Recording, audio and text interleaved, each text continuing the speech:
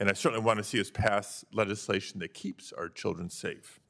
Uh, I am sensitive to some of the concerns that uh, human rights organizations have consistently expressed about the legislation.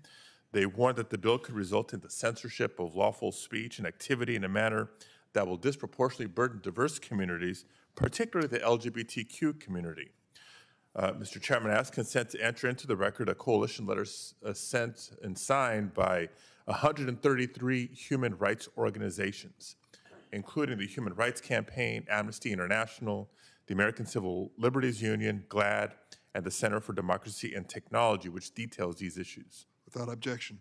The concern has only become more pressing, uh, in my opinion, as Republican state legislatures across the country pass bills that broadly suppress LGBTQ rights and public discussion of LGBTQ issues, leaving the internet as one of the few remaining safe spaces available for discussion.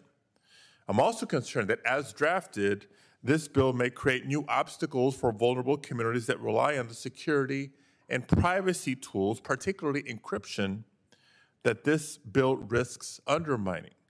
Just last week, this committee, you did a good job, Mr. Chairman, of laying out the context for how we got here today by uh, outlining and reminding us of the various hearings that we've had to date on related topics. Just last week, this committee heard testimony about the landscape of access to healthcare in a post Dobbs world.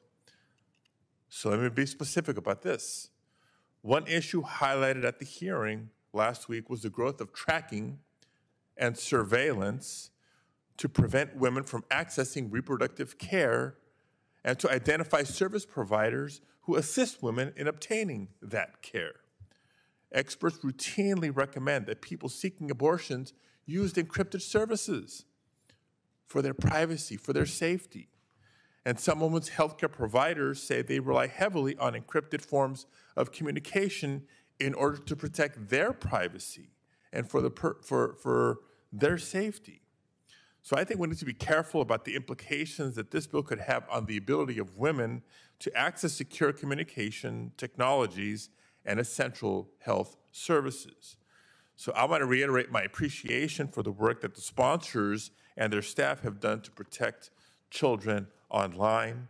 Trust me, as a father, my heart breaks at the trauma and re traumatization that victims of sexual abuse experience when their images are uploaded and shared online. I want to say, though, I also agree with this balance that uh, Senator Lee and Senator Padilla pointed out. I have a real concern about, in this bill about um, issues of cybersecurity and how we might empower the government to do things to target disadvantaged groups uh, for more harassment and discrimination, uh, groups that we know are ultimately vulnerable. That balance is really key for me, and I want to thank the bill's sponsors and the chairman for being willing to work with people like Senator Lee, myself, Padilla, and others to try to get this bill refined and better balanced before we take it to the floor.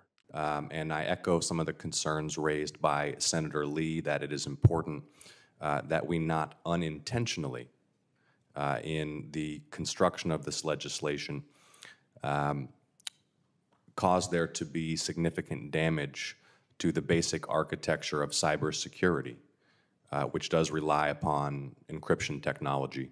I know that's not the intent of the drafters. Uh, I think progress is being made in the right direction. I do want to flag that as a concern worthy of continued attention and refinement uh, if the legislation is headed to the floor. Thank you.